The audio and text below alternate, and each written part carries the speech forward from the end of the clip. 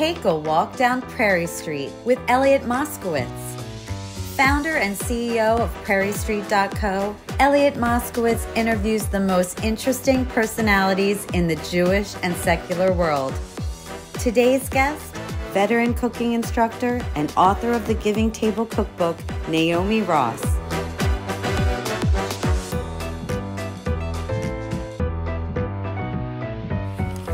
Welcome to a walk down Prairie Street. My name is Elliot Moscowitz. I'm the founder and CEO of Prairie Street.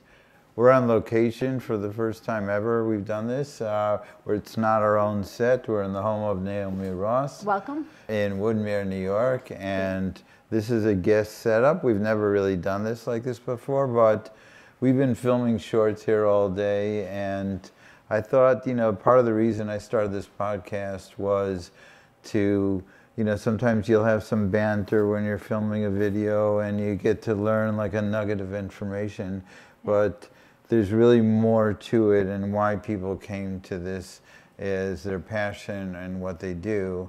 And that's why I said we should just set some time aside and, and do that. So first of all, you just have an amazing kitchen. it's an amazing kitchen. I think the second I saw this kitchen on like a Zoom call, I already had a film shoot in mind, you know, at, at the, this point. Well, the kitchen actually sold me the house, believe it or not, because I always, like when, when we were moving, we were looking to move to a different home and I was teaching a lot and I, I had been teaching cooking classes for a lot of years.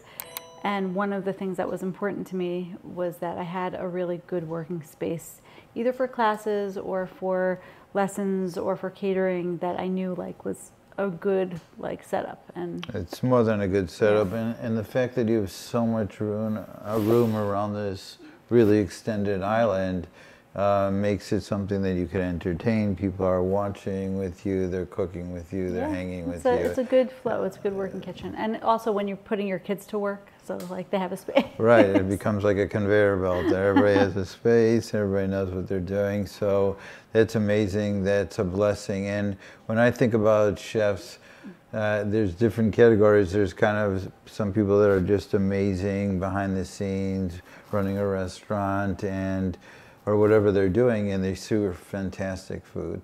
Um, and they're great at figuring out the logistics, no matter how many people or whatever they're dealing with, and figuring out what their menu is.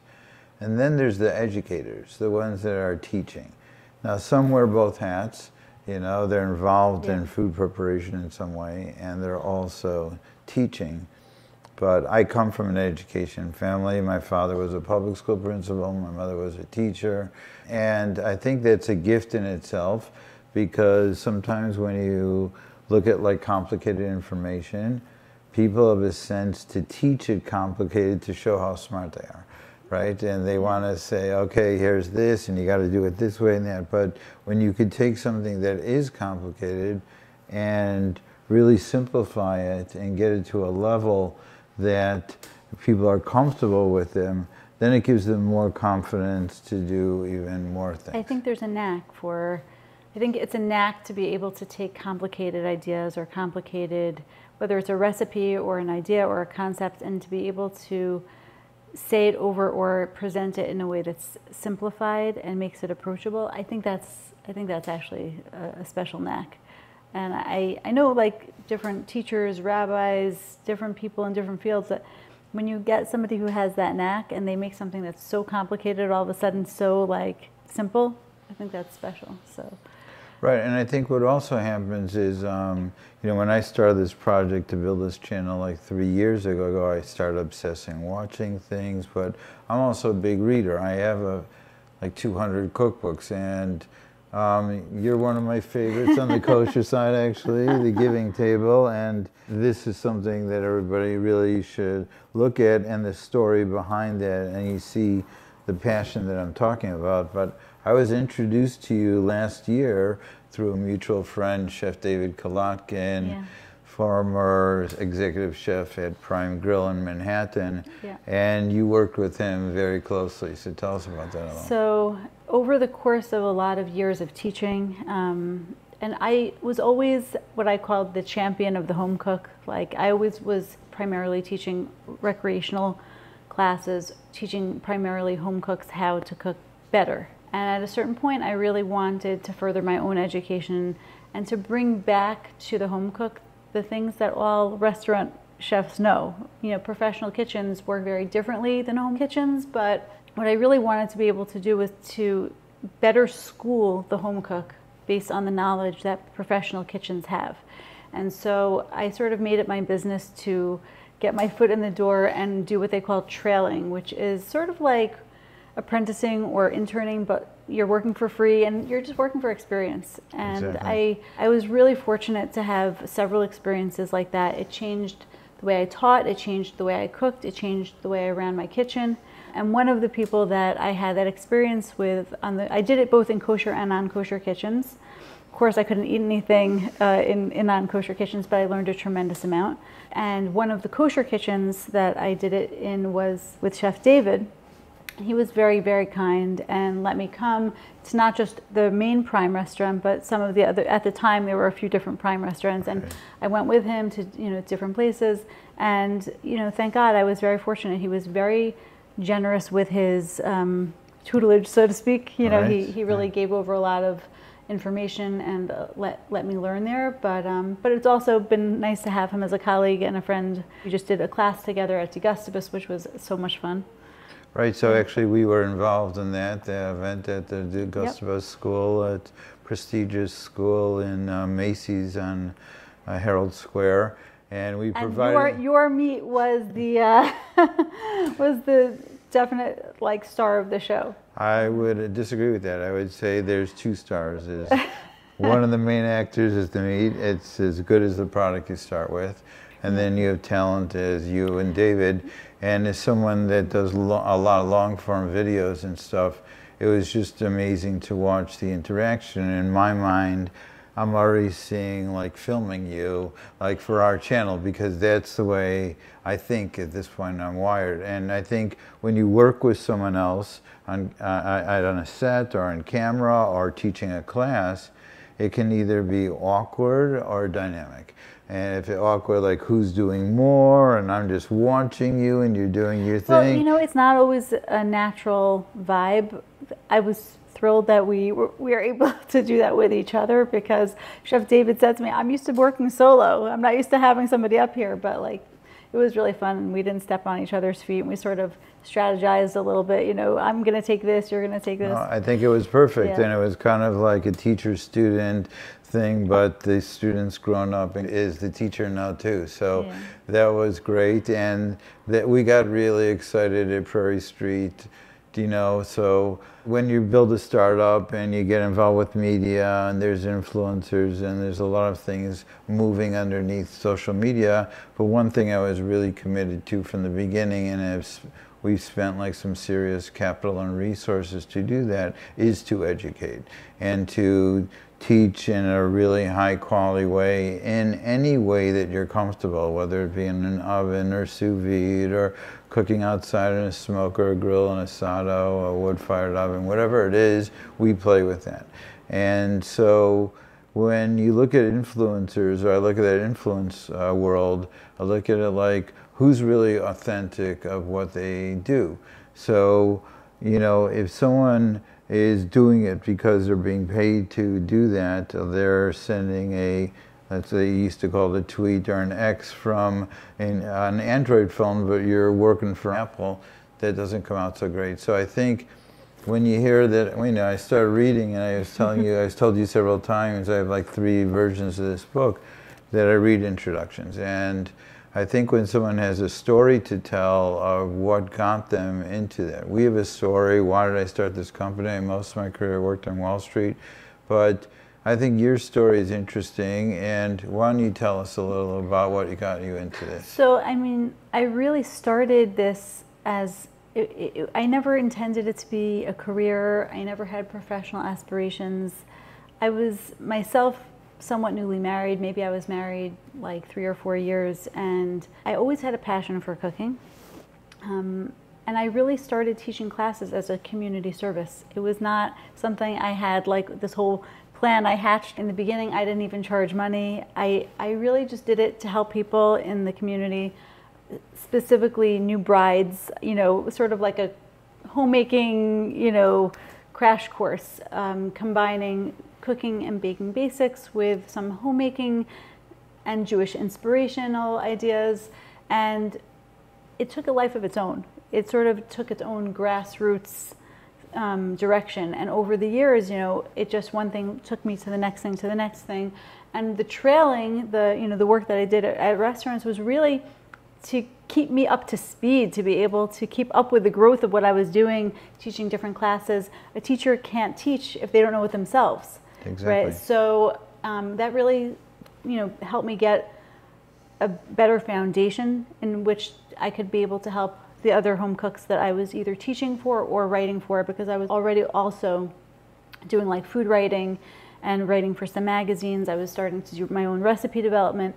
And so all of it sort of came together. The, the book itself is really culmination of all the years of doing these different things together. So a lot of like the international recipes in my book, they're really an outgrowth of the international classes I taught for my JCC series. I did for probably over the course of 10 years, I was teaching JCC classes and the international classes were the most popular. So all of those recipes ended up getting developed and worked on.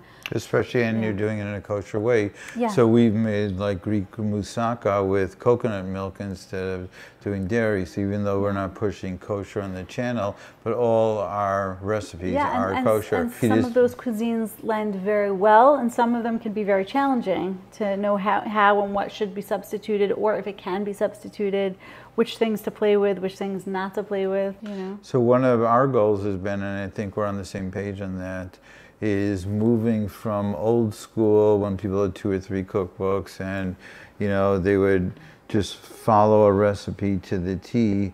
And first of all, there's a lot more technology and methods to use, but setting that even aside, is we're teaching concepts, right? And sometimes instead of saying, hey, I'm just going to do that, what do you have to work with? And you have some issues, and how could you even mix and match methods? So it tends to be, our experience has been that people like to stay in two, maybe three comfort zones. They're doing, you know, the oven and the stovetop, or they're a barbecue guy but uh, doesn't want to do the smoker, whatever that mix is. So we try to push everybody uh, to, to be comfortable. Yeah, push the limits, but whatever zone you want to do it, we'll show you how to do that. And we'll do it with great chefs like you, God willing, are going to be filming with us some of the long form videos soon. And we have, we teach those concepts. And I'll just give you a quick example that. So in my outdoor kitchen in Hollywood there we film, I have a smoker, a grill, an asado, a Weber, a pizza oven. It's pretty crazy out there. But I was making for a bunch of people like a 14 pound boneless ribeye roast. Wow. Okay, and I was smoking it. I should come to your house for dinner. Yeah, people were pretty happy, and um, I was just smoking it, and I had this puzzle because you know I know the good chefs can use the palm of their hand and all that. That's nothing. You can't teach people to use the palm of your hand. You do that for 10 years, you could use the palm of your hand. a meat thermometer is your best friend. Yeah. What's going on inside this one? So it's puzzling to me that the outside three or four pounds and this part of the three or four pounds, we're like about 118, 120. I was just ready to pull them off soon. But the middle was at 105, and I couldn't figure that out. So I called one of my chefs, Michael blom who has been on our channel, great, and he explained to me the science of what was going on. So I go, like, what am I going to do? If I jack it up, then the outsides are going to get overcooked. Yeah and in the middle of that, but if not, it's going to be too rare even for people that like it like that. So what I do, I took this Anova precision oven, which is like sous vide, but you don't have to bother to put it in a cryovac and a tub. Yeah. There's a water chamber, you put it right in there, and I just dialed in like 126, put the whole thing in right the way it was, an hour and a half, and I had even to even. So I took sous vide experience and figure out how can I do that without putting a cap on the outside things. And I think those are concepts yeah. that you teach. You have a pro tip. We have something that we also show is like when someone says something amazing, it's a pro tip and you should, and you simplify. So the point isn't too complicated. And you, you learn this skill and you say, hey, I could apply it to something else. And that's when I think someone's really been taught. Because if they could be freeform a little, like 80-20 at least. I think I think it's, I think it's also, and I once you have the foundation, then you can start hacking what you know what you know. Meaning, you can take shortcuts only when you know the right way to do it if it'll work. I hack my own recipes all the time. Right. I actually just did this the other day. I have a recipe in the book, and it's a sautéed recipe, and I hacked. I was in a, in a hurry, and I was like, well, I know if I do it in this other way, it should technically work, and it did. But in the book, I have lots of shortcuts. For my own recipes, I'll take a shortcut sometimes because I want the readers to know the right way to do it and the, the tried and true way. And then once you know that, then you can always take a shortcut. Absolutely, and that's kind of why we've never really done this before. Usually we film our long form videos over a few days, but there's also everybody's attention span time, everybody's busy. They want to get to the essence of what you want. So we did something that we've never done and just filmed for a bunch of shorts with you and then people can have an option of watching a short version and a long version of that and mix it because the more when they're patient it's not just trying to get it done but they want to learn concepts.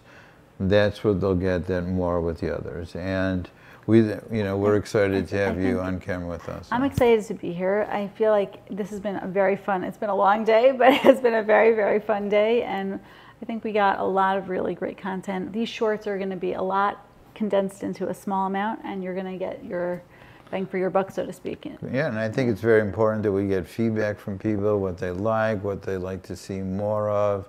I think you're going to see Naomi and Prairie Street and other things. We did something at Kosher Palooza together, a demo together, or I watched you did a demo and then tried to eat the meat with a spoon or something. I'm not sure exactly what happened, but that was a very cool dish. And, uh, you know, like I started with that, the people that are sincerely passionate about this, this, you know, to put a project like this together is a huge undertaking. And everybody says, oh, everything's digital and quick, but, you know, there's a different level of comprehension. I read a lot, um, but when you see, especially when you see the images and you think about it and you take the time, but even more so, take the time to know the person that's writing the book.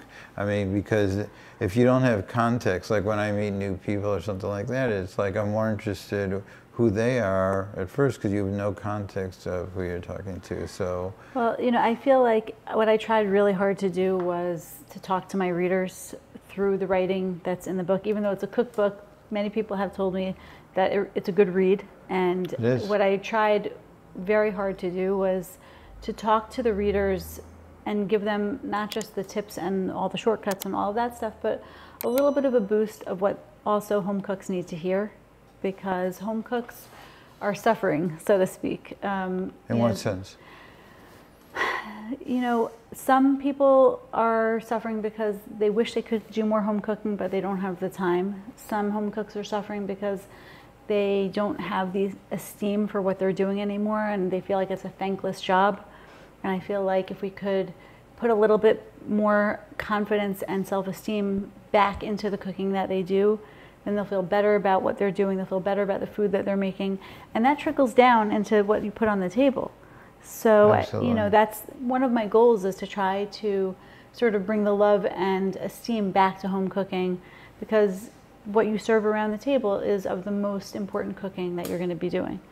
And that's what we do at Prairie Street. Is our main goal is to get that super high quality meat to this home combined with those home cooking yeah. and you know and I go to a fair amount of restaurants as you do and some are really extravagant and good but at the end of the day you know before I came here and stuff I haven't eaten in two days and I had a little tasting menu of everything that he did today there's nothing better than that. And it's also like a family experience. Like, you know, how many times at dinner everybody's looking at their phone or other things that's happening. And when you're in a kitchen like this or with your family in whatever kitchen you have, and you're preparing and you kind of set your time aside that this is an important thing, it gives perspective. And at the end of the day, those are really going to be the best meals you'll ever have.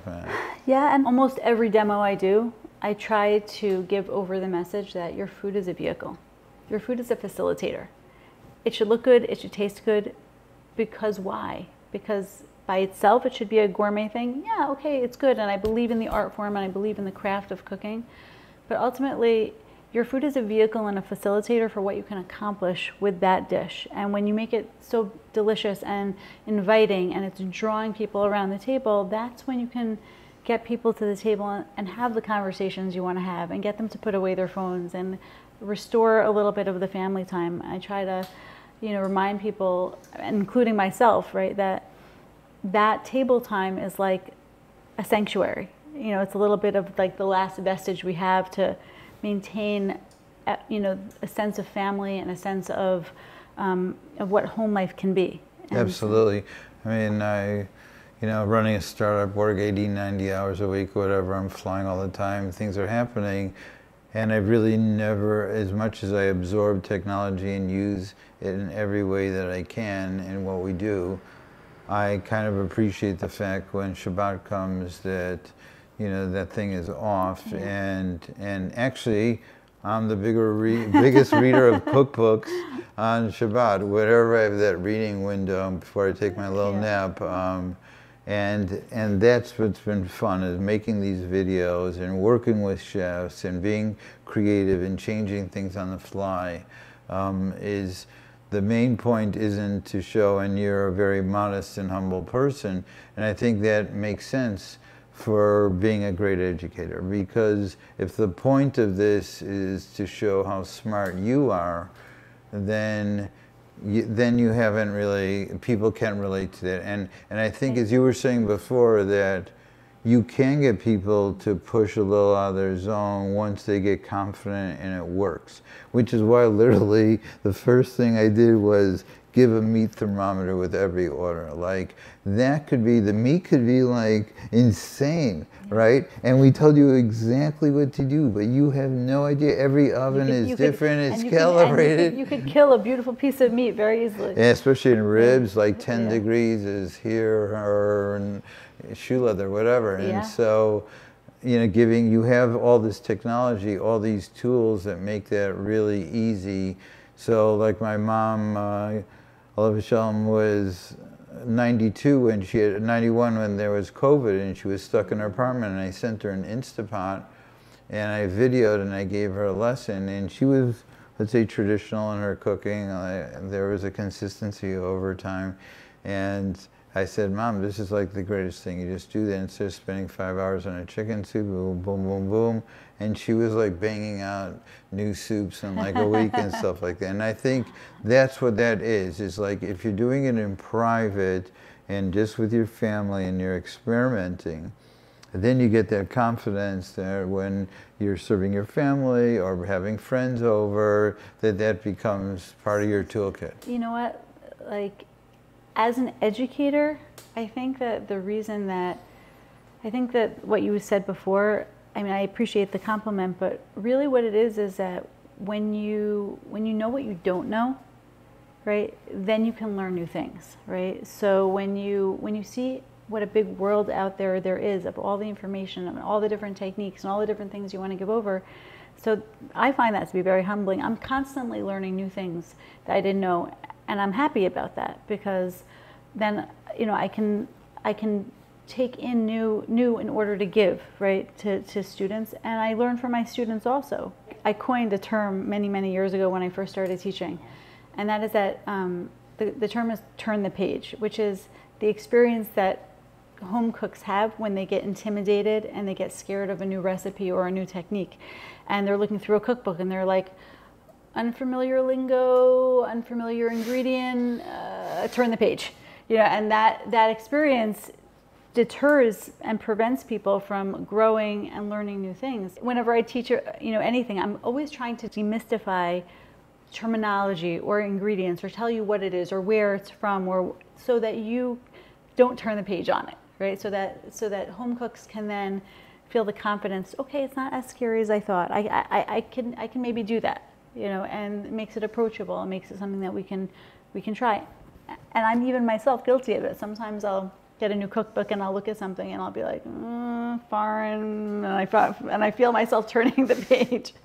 It happens to everyone. Yeah, well, everybody, it's it's not meant to be who's best. Everybody has a, it's a culture, it's a style. We also feature videos are from Italy and Lebanon and Israel and Mexico, and you just um, mix that and you're taking, and then it becomes kind of fun. And, and on a personal basis, I could absolutely appreciate because that's something that I tell people all the time is I know what I know, what I know, and I and know what I don't know, but I try to learn as much, and I just have a a thirst forever to learn. And when you're at a certain level of understanding the processes, then each iteration is much more sophisticated than when you're just trying to understand the project from the beginning.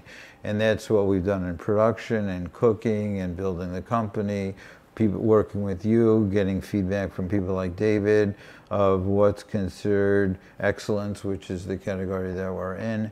And, you know, that's why I think Prairie Street, Elliot personally, Naomi, I think we're a great fit. Um, I was very, I never let go after seeing you at the Gustibus, and um, I think my team could uh, corroborate that. That's pretty rare that I'm doing that, but I think you're fantastic. And so, what would be like the next steps for you? Write another book, or um, Netflix, or?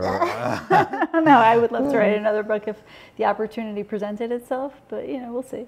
Yeah, would, would did yeah. you get certain feedback? Did you feel like there were certain subjects or angles that you wanted to cover that would have just been too overwhelming? So, you know, the book is very thematic as much as the chapters are very conventional, you know, soups or right. poultry or whatever it is.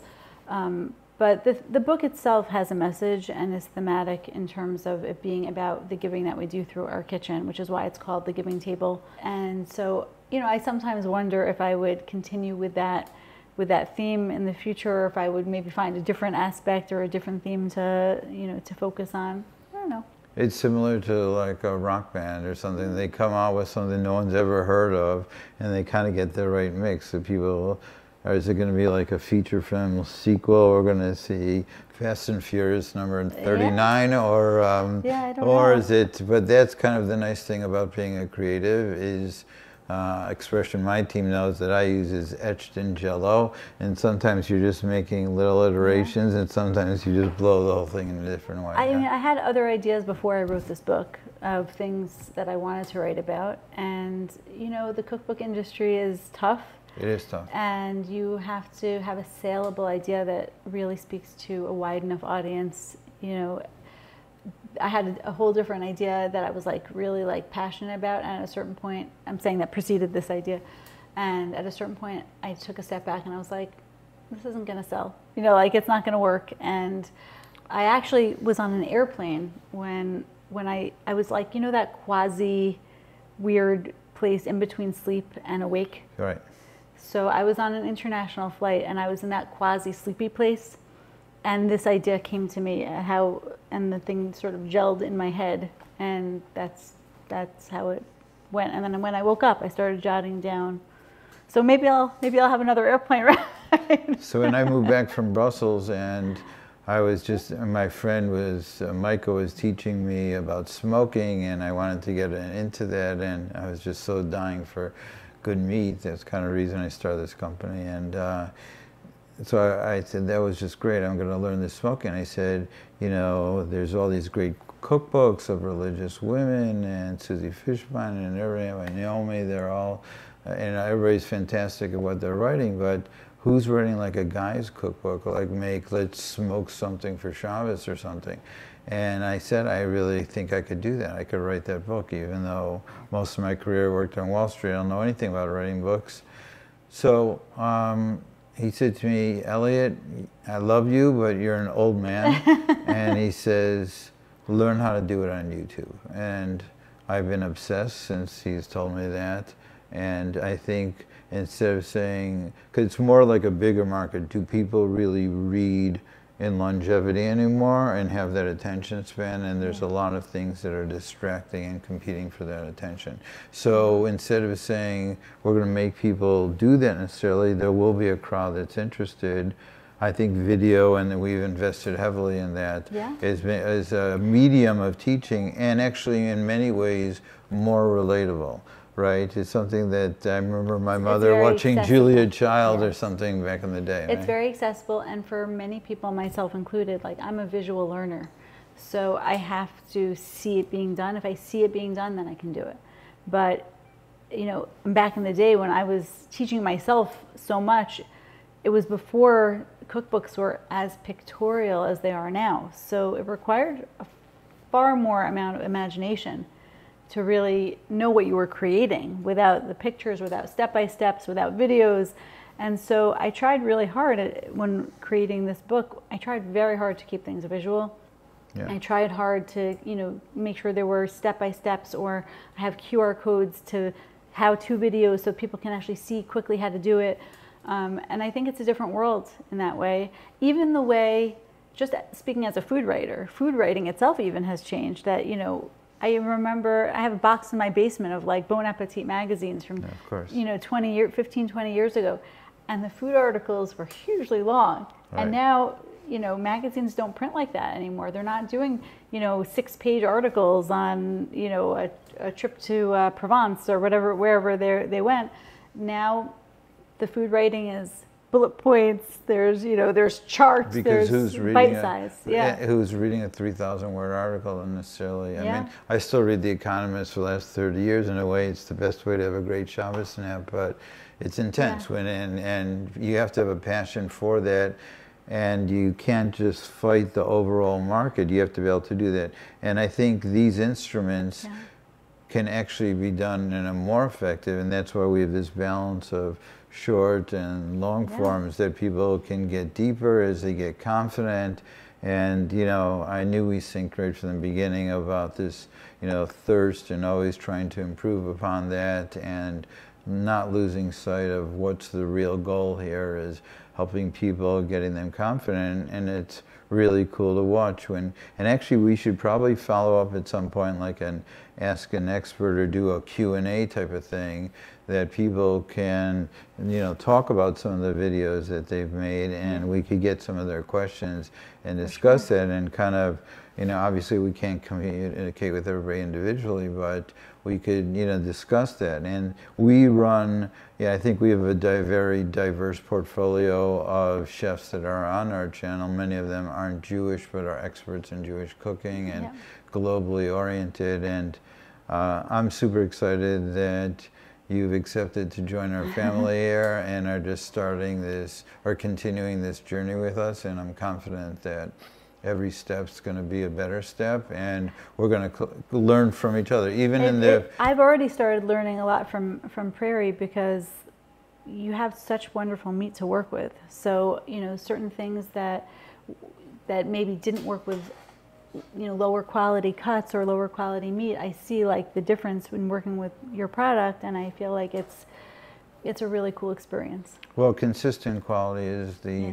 hardest two words of this entire project uh, you know i was looking at a ranch in texas and stuff Yeah. like that so you know there's a lot of moving parts there's inflation there's climate change there's Yeah. a lot of things that are happening And they're animals. and they're animals. And so, you know, we focus uh, primarily on excellence versus volume. And at least within the kosher world, we could, you know, we'd rather have the clients that really understand that quality but want it and don't have to worry is, am I going to get a good shipment this time or Yeah. what that quality is going to be. So I think you take that and you take the education. So we've been playing with a magazine the last few months and we started Prairie Street Culinary Kitchen magazine. But this month's edition, the holiday issue that's coming out next week, is featuring you in a significant way. And I'm proud to say, from a technology standpoint, it's an internet based, so you'll see floating links, embedded videos. So cool. I mean, it's like we, we put a lot of energy into our content machine, but there's no outside advertisers or anything, and it's pure about education, but it is a interactive education. So you could be reading, you could see a recipe, you could click a QR code to buy So the cool. meat, you could watch the video without going away to another place. So um, we'll be, you'll be hearing from us on blasting it. I'm sure your fan club's going to be super happy with that. And it's, it's really all, cool. yeah, all they have to do is sign up for an email and we're good to go. So thank you for being a gracious host. I've never walked Thanks into for- a set and thanks for been coming- fed. Thanks for coming to my house. It's amazing. I'm sure we're going to do this again, and hopefully you're, uh, you'll come to our other house in Hollywood, and uh, we'll be filming And, and together. you'll feed me. You'll feed me also. I think we do. So actually, you know, I've made stuff for the crew, and or we or we swapping out recipes all the time. That's kind of the nice thing when we actually break at the end of the day and um, and have that. And I think you know, you get for me, it's all about. Uh, getting like just today I was actually really hungry, but in general, but it's about getting like a couple tastes and seeing what did they create. It makes it makes me happy to feed people. So you know, you gave me an opportunity. You know, feed me, people. people say this and health things. I mean, I've lost a lot of weight the last few years. I'm kind of on keto, and if you have good protein and vegetables and fruits, and you stay away from sugar and carbs, you're pretty much good to go. You know, and um, that's it. So thank you again uh, for taking a walk down Prairie Street and your kitchen of Naomi Ross. This was amazing, and hope to see you in our other set very Looking soon. And wishing you. you a great holiday, a good Chagim, and for you and your family, and for all our audience, uh, they should have a happy and healthy new year. We should have a little peace in our life. And Amen. remember, we're all on the same team at the end of the day. Thank you. Thank you. Take Thanks. care. Thank you. Subscribe to our channel now and set your notifications so you don't miss our latest recipes and chef led tutorials. Then head over to prairiestreet.co to shop for your next big meal.